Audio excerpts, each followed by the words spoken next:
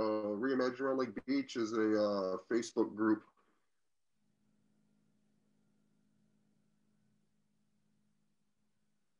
They're a Round Lake Beach group.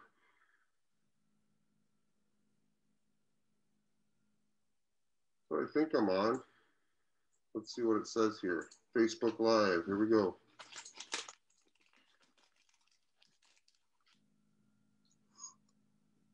Yeah, I think we're live.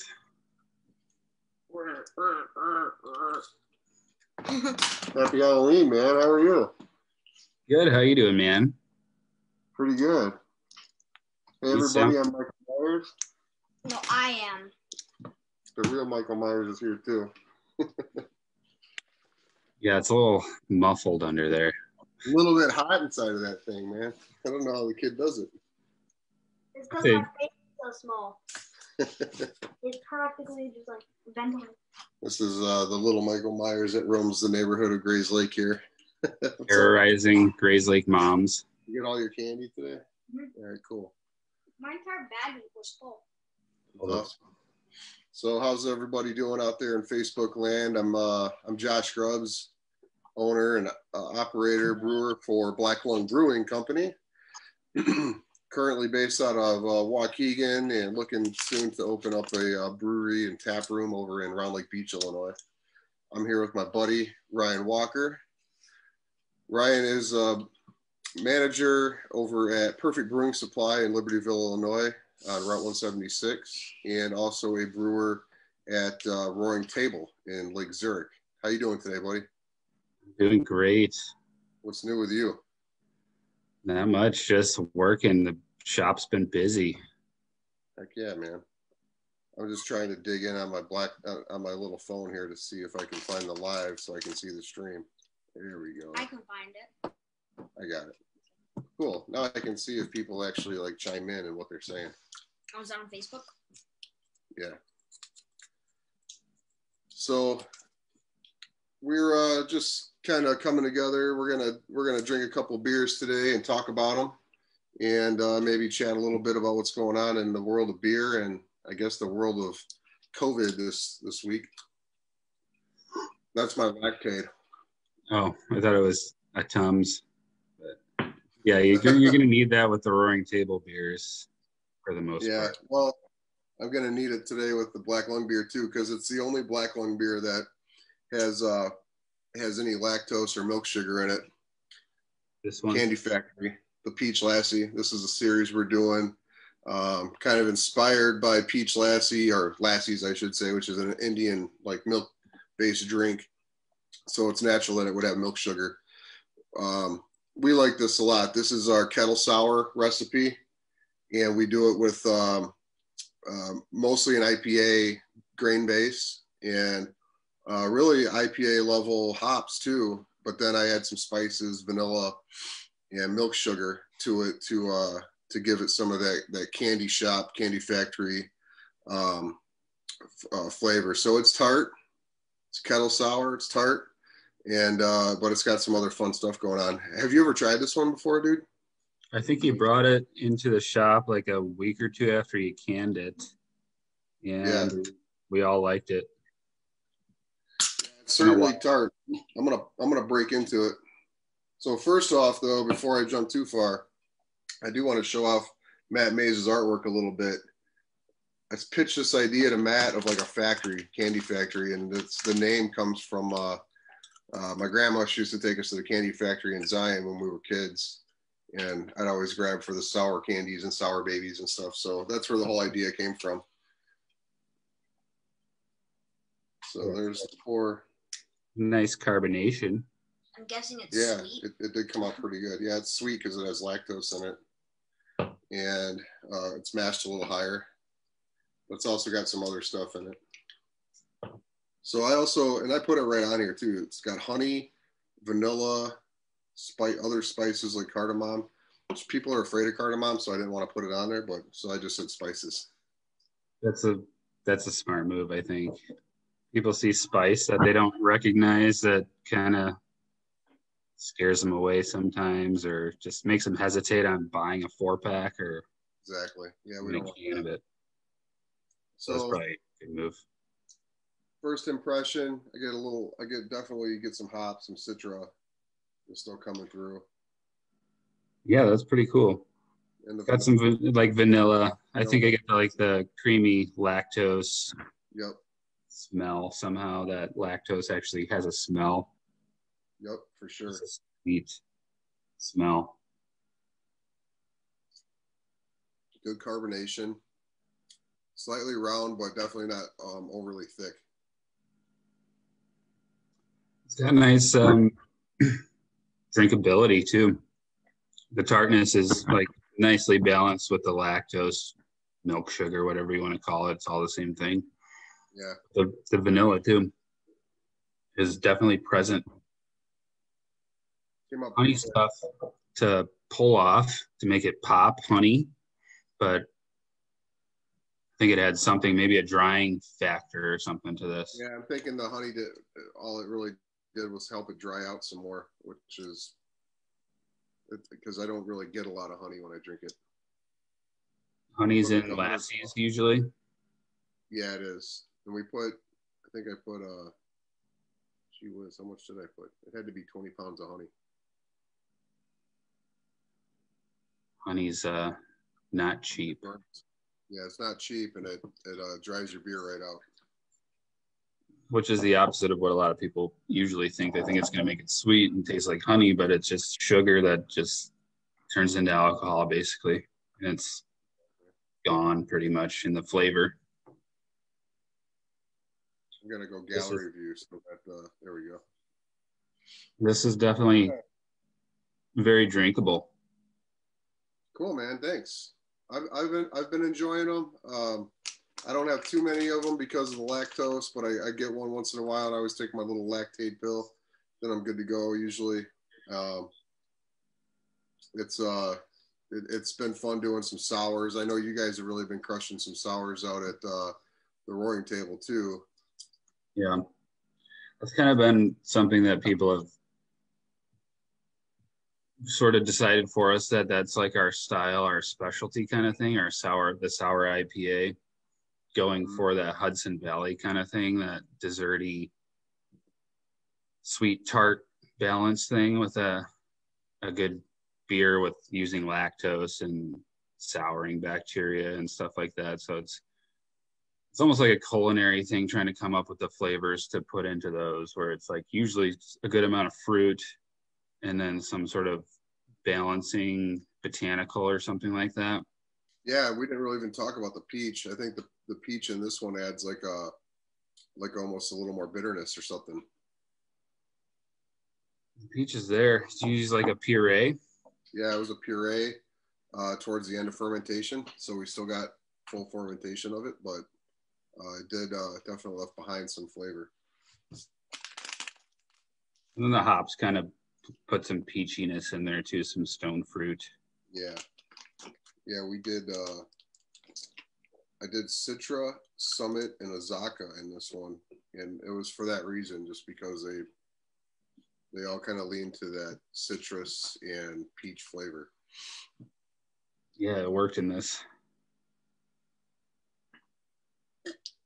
tasty So our new 14 ounce glasses. We're gonna call this a full pour at Black Lung Brewing. That looks cool. that's going to be like your house glass My house glass. those are cool they're they're straight up Yeah, pretty straight up. That's why I i don't think i've ever seen that before those are sick pretty sick, ain't it? It Yeah, does like give you some aromatic still. Good solid aromatic. It's like a shoot, man. It just kind of fires the, the nose at you. I like those. Did you order all your glassware yet, or that's No, I, I've just settled on it finally. So um, I did meet with a representative from uh, this company. Um, excuse me. Uh, name's escaping me again, but they uh, they came out and he, he brought some for me to check out, and very cool. Yeah. I got a Pilsner glass too, one of the nice tall ones, like what we had when we went out to uh, uh, Bierstadt. Yeah the stemmed ones? Yeah, the stemmed. I, oh no, this isn't stemmed. It's uh, it's the straight tall Pilsner glass. I don't have them down here. Like this guy? That one. Yeah, that's awesome. I love these things. This is Goldfinger. Goldfinger. Yep. Yeah, just like Goldfingers. Oh yeah, I remember that seeing that thing down here. Those are my my favorites. Those them. are my favorites too. See, man, that's why we click, bro. we're like, uh, I think we're, we're we're kind of in the same boat in that we we do all like the hype beers and like we have fun making them and stuff. But at the end of the day, we just really like to crush some pilsners. So I, I got home and poured some Bitburgers. Four and a half, four point nine percent or something like that. You just put full Yep. flavor, well brewed. You can get like fairly fairly fresh Bitburger at Woodman's, which is just the best. I love wood. Yeah. The secret's out. I know Dan Burgers, my other uh, Bitburger freak. Oh yeah, can't go wrong. People are finding out. Sometimes you go there and it's just gone. Everybody's just wiped them clear of Bitburger. But Bummer. I got lucky and found some four packs, I guess. I drive by Woodman's twice a day up in Wisconsin, so stop in whenever I need some. Shout out to Woodman's. hmm Yeah, Yeah, we another should big, be. big box store trying to put down a little guy. Yeah, Yeah. we should be shouting out like Oak Trail Spirits and Beer Bazaar, Gold Eagle and Beer Bazaar for sure. Gold Eagle, Antioch Fine Wine. They, they carry all that stuff there too, and you can get some fine local pilsner at Beer Bazaar, including the one that we're going to try in a few minutes. Yeah, I don't know if they have it in stock right now, but that is a Roaring Table Pilsner. I can tell you, I'm not going to lie, I've drank quite a few of these already. Not today, but I have had them. it's a yeah, it's a second batch of it. Mine looks mine's an unlabeled, undated can, but we think it came out just as good as the first batch. I think the first batch was our fastest moving 10 barrels of beer we've ever moved through. Nice. So we did double batch. So there's a lot of that at the tap room if anybody wants to come buy a four pack or two or a case. Yeah, I uh, I was reading on Facebook uh, for you guys that you're you're going back to uh, tap room to go sales with the new shutdown criteria. Yeah. They're yeah, they're shutting down inside. We have the patio that's open. Um sounds like it was a little slow tonight, but we're hoping for a little bit more with it being sort of nice, but it's Halloween too, so I think a lot of people Halloween. hanging out Yeah, home. so definitely go support Roaring Table and all of our local breweries in, in the area. Uh, they're all a lot of them are doing to-go sales. Just watch their websites, Instagrams, and Facebook for what's going on and the protocols for for getting beer. And my beer you can grab at any of the local uh, uh, places uh, shown on uh, on our website. Sorry. I'm uh, having to regulate the ten year old over here who's digging around in a bag of Skittles and screwing up our audio. I was doing laundry, so I closed my laundry. That was making some noise, but that should be Nice. done for now. So what else is going on at the build out up in Round Lake Beach? Yeah, funny you should ask. I was gonna pop up the screen and uh, show everybody. We, we uh, started digging in drains this week. Let's see if I can share my screen here without. Uh, let's see where. How do I do that? We'll just go desktop.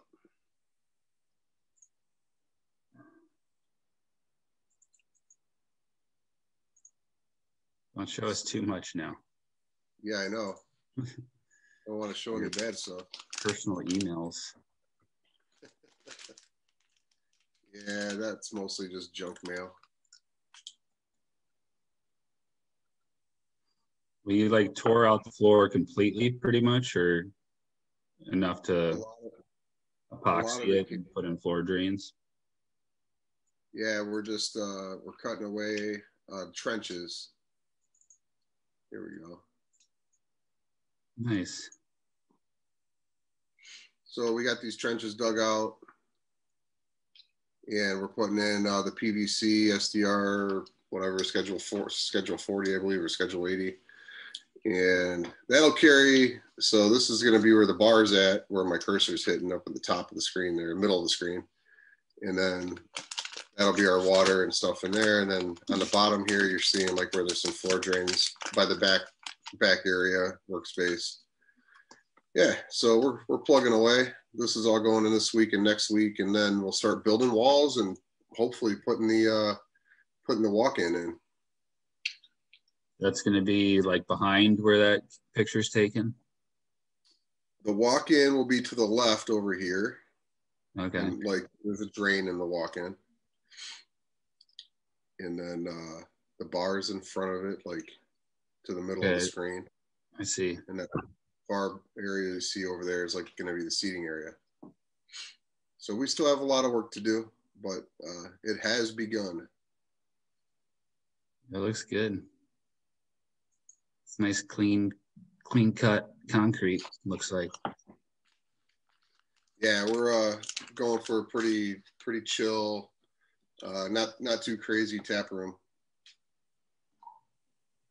Just be uh, somewhere you can come locally and get some local craft beer made in house and uh hang out and chat with me or whoever I got behind the bar. Uh most likely will be someone I know that uh is also very cool.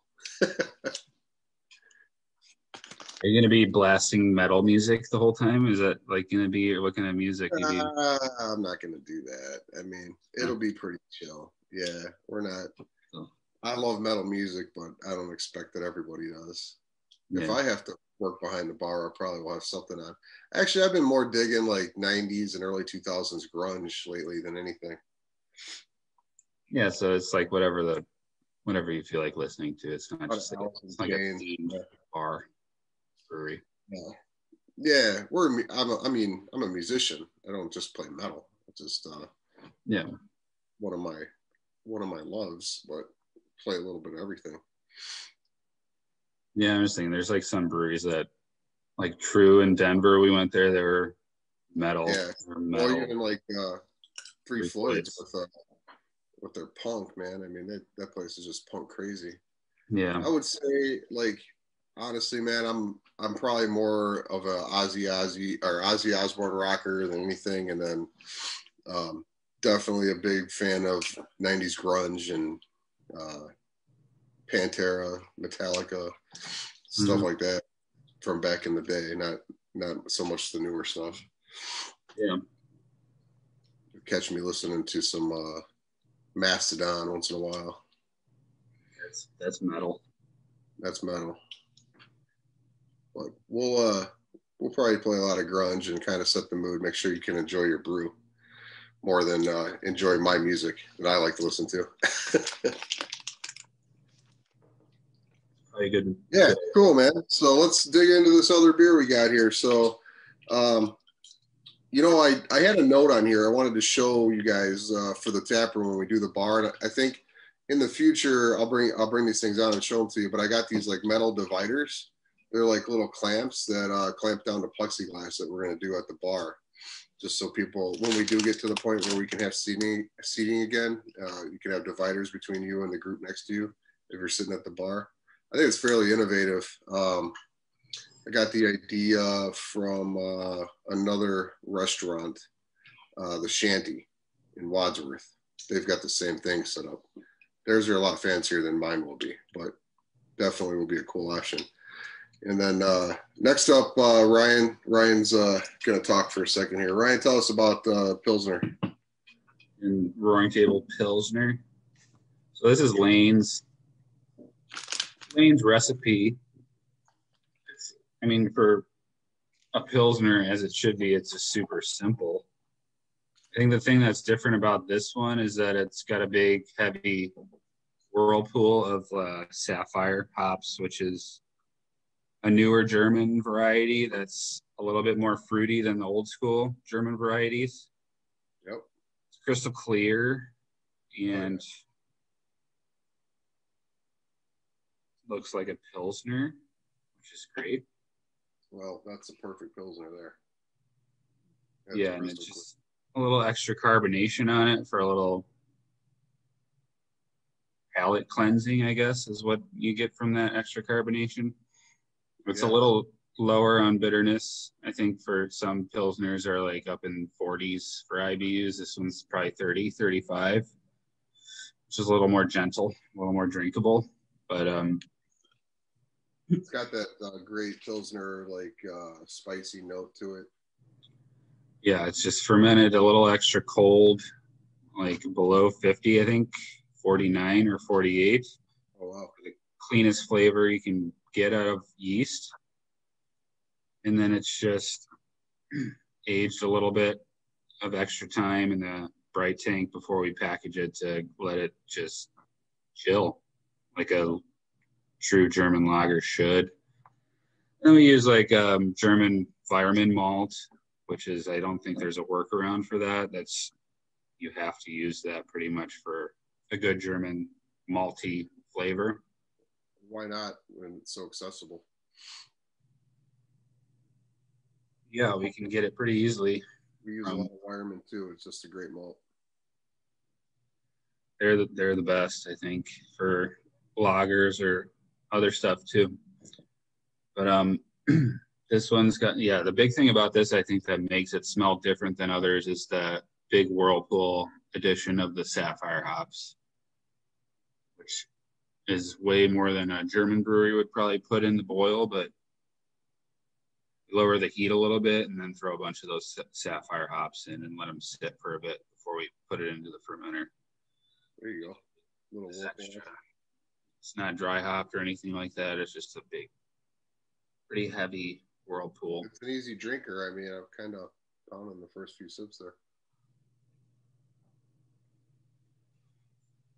Yeah, I would say as far as uh, uh, bitterness, it might be a little bit on the, the bitter side of what you might be used to for the style, but it works. It's fantastic. It's got a great aroma and it's uh, extremely approachable. And when I say that, like that, that means like I could just drink a ton of them. Uh, it's like a drinking beer that you could sit around a fire, have a bunch of beers, and and just keep coming back to it. Yeah, it's a good. It, it does really well in the summer. I think we put the first batch out at like the end of summer, the last hurrah of summer that weekend, Mhm. and I think that's why it just was gone so fast. The cans in the draft were just gone. It uh, it makes me feel good because we just did the uh, beer with the Lutra yeast, and it's a it's a blonde ale, but it's really my pilsner recipe, and uh, I'm excited for it. So uh, it's good to see that people are drinking uh, smaller local craft beers too, not not just going to the big beers. Just beer flavored beer. I feel like a broken record saying that, but that's kind of what it is. It's funny because I hear that all the time too. It's just uh, uh, among brewers and among home brewers, like you, you just kind of get jaded from all of the uh, fancy, heavy East Coast IPA stuff and just go back to beer flavored beer. Nothing wrong with that. That is absolutely fine. It's totally normal. Yeah, it just uh, it keeps you grounded. It keeps you like in a place where you know once again what beer's supposed to taste like. I think if I was 80 years old still drinking hazy IPAs, that would that would be weird. Hey, buddy. Bring me the one with all the lactose in it. No, it's not. It's not how it's going to be. Me drinking beers like Pilsner. yeah, exactly. Then I don't got to take extra pills. Yeah, that's convenient. Um, so we talked a little bit about you guys and the shutdown. I don't like to, to really lean into the shutdown too much. Everybody knows enough about that. Um, we're all watching the news and we're all hearing it every day, so that's cool. I mean, I I'm I'm praying for everybody, all the local breweries that they they sell, and this is the second time through, so it you know get out there and support the breweries, buy some beer to go, um, and say hi because we miss you. I know I miss talking to people. Um, It's going to be a hard, cold few months for a lot of breweries that are already struggling at this point. Well, you already did it once, and now you know what to look forward to, and it's hard, and you, it's just hard, man. It's all very hard. So you you you dread it, and there's a lot of people saying they're going to open anyway, and hey, man, however you got to deal with this, I just hope that everybody does what's safe, safest for them and their families, and for other people's families. Um, we got to look out for each other. So, Yeah. Cheers to all of you who are doing the best you can in a hard time. God bless. So, short tran small transition. Um, we got together yesterday and swapped beers, and we um, we were talking about one thing that we really love uh, about uh, your uh, your day job over at Perfect Brewing Supply. Um, it's also where I, I stop at constantly for coffee. So I popped in to uh, Perfect Brew to chat with these guys, trade some beers, and picked up some Tala. This is the Tala Espresso Roast. Um, this is actually the one that I put in uh, your What Hurts, which was our first out that we put out. It was uh, it was about uh, 12 pounds of this stuff, and it was absolutely wonderful.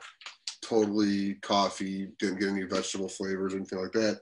And it's uh, Guatemala, Honduras, and Costa Rica. Guatemala is some of the best coffee beans you can get your hands on.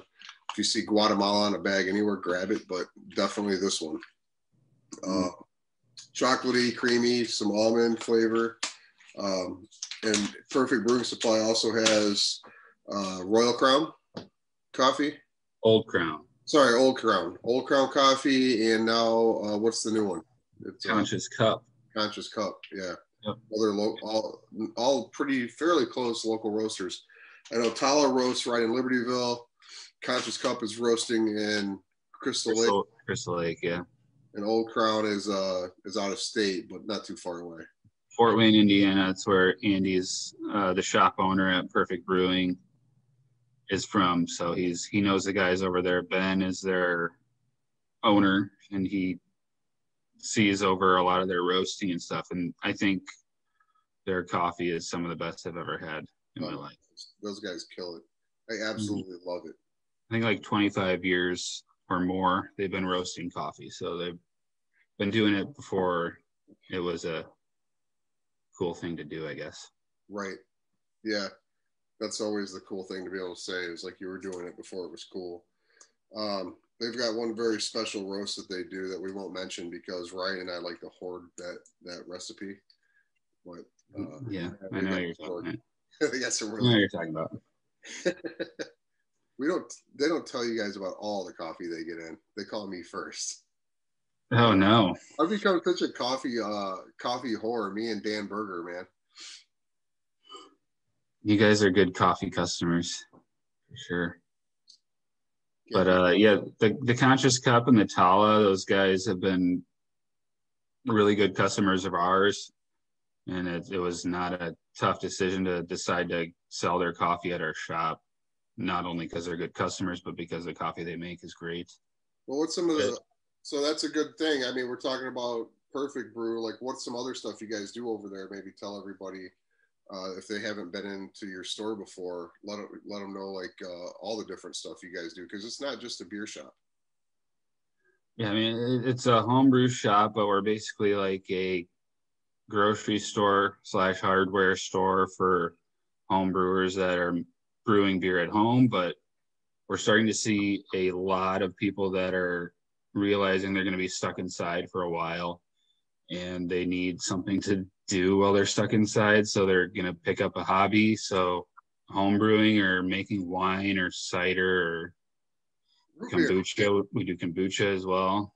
So we sell all the kits you need, all the hardware to get started on doing that. And we're going to start doing like Zoom consultations because we're we're not offering classes at the time being because we're in a pandemic and we don't want to have too much exposure. So we're offering online classes. So we have starter kits that we're going to be offering at a discount the beginning of November tomorrow. And then um, comes with like a free consultation. So we'll walk you through the process because it can be a little daunting to a lot of people to pick up a new hobby and have all this foreign looking equipment to make beer at home. So we walk them through like what all these weird pieces of plastic are actually made to do. The frightening thing, and I, I can remember because I don't feel like it was that, that long ago because it wasn't. Uh, when I made my first batch, and like your biggest thing that you're worried about is that, like, is it you're, you're trying to make it be perfect, so you're reading everything four or five times, but um, guess what? It's not going to be perfect. but Yeah, it, will it'll still be beer. So just follow the instructions and let it ferment out and, and have fun. It's it's it's brewing. Have a brew. Yeah. Uh, Yeah, I mean- there's also do cheese and winemaking.